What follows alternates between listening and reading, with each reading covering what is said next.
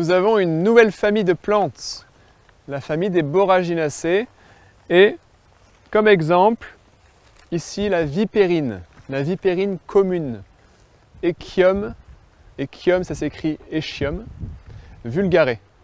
Echium vulgare, la vipérine commune, se reconnaît déjà grâce à ses fleurs bleues qui commencent d'abord par être roses et qui sont disposées en inflorescence dite scorpioïde.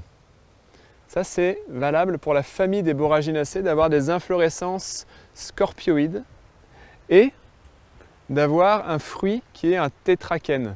Ça vous fait penser à quelle autre famille ça? Ça fait à la famille des Lamiacées. Donc dans la famille des Boraginacées, on peut avoir des fleurs qui font penser, regardez, cette fleur là de vipérine ressemble à une fleur en gueule de loup de famille des Lamiacées. On a le tétrachène. Par contre, on n'a pas forcément les autres caractères qui sont tige carrée, feuilles opposées décussées. C'est ça qu'il faut observer, hein, qui est ça en plus. Et il y a aussi les quatre étamines qu'il y a dans la famille des Lamiacées. Dans la famille des Boraginacées, on a cinq étamines, alors dans la famille des Lamiacées, on en a plutôt quatre.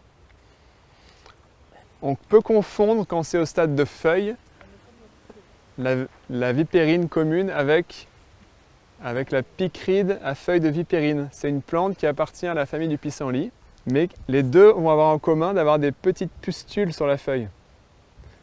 Donc la picride à feuilles de vipérine a des pustules, mais ce qu'elle a de différent de la vipérine, c'est qu'il y a du latex. Vous vous rappelez, hein, les plantes du groupe du pissenlit ont un lait blanc, un latex blanc. La picride fausse vipérine s'accroche sur les vêtements, alors que la vipérine, ça s'accroche pas. Ne peux pas te faire un magnifique badge. C'est un autre moyen de les différencier.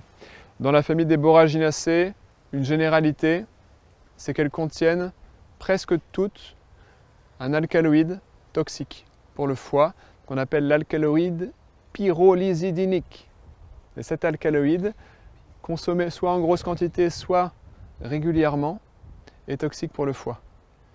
Donc si on en prend des petites quantités comme ça régulièrement, ça peut créer des cancers du foie. Si on en prend beaucoup d'un coup, ça peut carrément obturer la veine hépatique. Et si la veine est obturée, ben, le foie est plus alimenté, il se nécrose et puis, puis on meurt. Donc la consoude, finalement, il y en a qui conseillent de la manger, moi je déconseille.